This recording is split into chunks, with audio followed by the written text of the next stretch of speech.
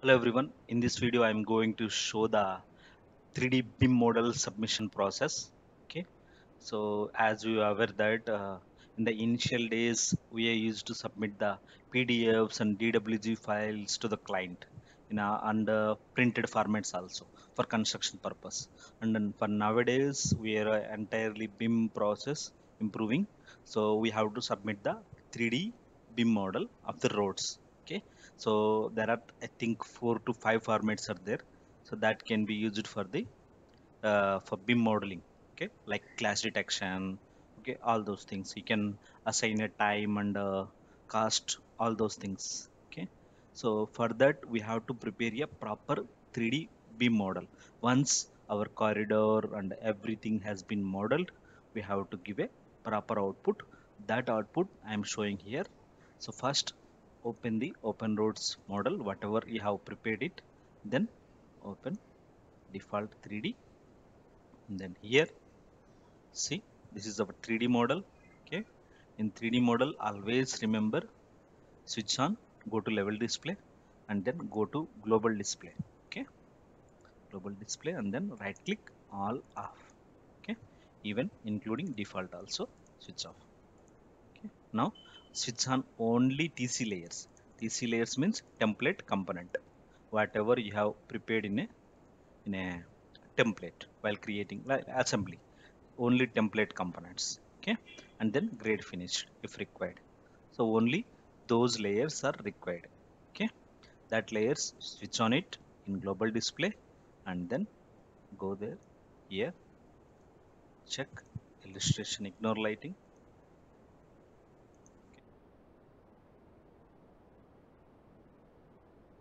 ignore lighting. Yeah now have a look. Okay. Have a look over the yeah like this. Have a look. Then go to file. Then export.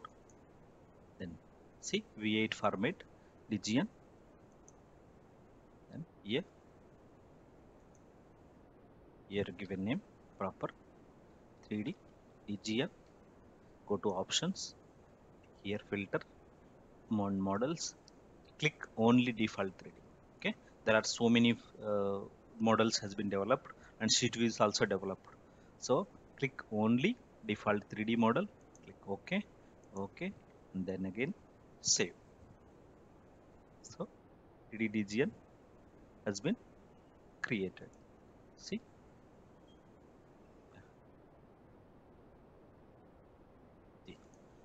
12 MB. Okay. In this, there is no corridor, no alignment, simply mesh means mesh means components. Template components will be there. Okay. These components is required for the BIM modeling purpose. Okay, like Revit or Revizto. There are so many softwares. They will import this 3D DGN into there and they will import the drainage DGN also and uh, not, not only DGN, there are various formats. They will import all the related models in a single single file in Naviswork, all those things. Once they have done, they will do a clash detection. So our role is providing the proper output for BIM purpose. Okay. So now 3D DGN is done. Similar way, 3D CAD. Export DWG, same process. Here 3D CAD. Now. Go to filter again models select only default 3d okay. Save. Done. Check whether it created or not. Back. Yeah created. 3d CAD so 16 MB okay. Now so this two done. One more is IFC format. Industry foundation classes. Uh, so this is the new format okay? See? IFC is a short not, not this one this is the correct one. In general IFC or industry foundation classes.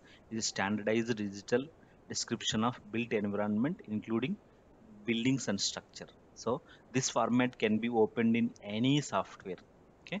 Any any BIM related software Revit okay? If you see the image we'll get an idea. See? Ifc geometry plus data and then ifc for BIM applications okay? Ifc is a universal type format. That also client may request you. So 3d dgn 3d cad and then ifc for ifc in OpenRoads there is an option directly see export to ifc in home only export to ifc and then click here and then click none. Simply it will create a mesh. It will explode uh, export it to export all whatever we have displayed. That's why i told you always use global display then export it. Okay? Then go here. Netsite GN here 3d ifc then save. That's it. Ifc files will be somewhat higher compared to the normal files ifc see 25 MB okay? This is the file size. Now one more is there naviswork. Naviswork catchy file nwc file. For that you have to uh, uh, you must have naviswork file nwc file uh, naviswork in software installation. So so let me do that. I will show you. So once you open the naviswork manage and then go here append and then open the GN here. See any CAD file is best one because both are from the Autodesk. Okay just click here open. So it will create automatically NWC file catchy file. Okay. Here. See this is the model